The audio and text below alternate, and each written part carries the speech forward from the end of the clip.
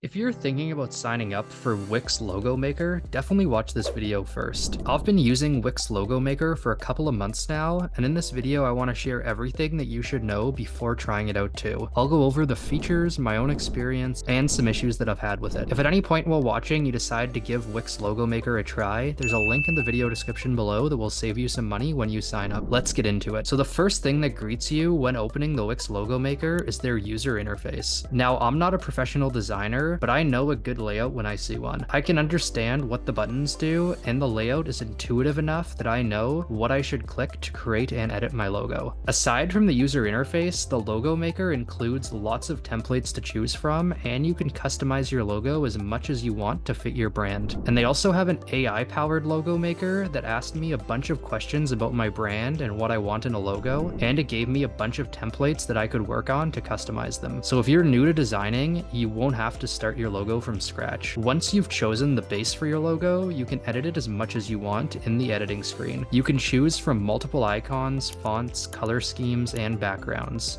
And don't worry, they use drag and drop controls, so it's beginner friendly. Another handy thing about their logo maker is that it can integrate with other Wix apps and products so you can use it together with Wix Website Builder, marketing tools, and Wix Business Solutions. But one thing to be aware of is that while the Wix logo maker is technically free, you can use all of its features I've covered. You can actually only download a low-res version of your logo, which means that if you want high quality, then you have to get a paid subscription. The cheapest option costs around $20 and you'll have full commercial rights to your logo. You can also pay 50 for more advanced options like different versions of your logo, resize options, and customize logos for your social media profiles. For my small business, I was happy with the $20 logos though. So if after watching this you're interested in trying out Wix Logo Maker, then feel free to use the link in the description below to save some money. And if you found this video helpful, please give it a like, I'd appreciate it. Thanks for watching, bye.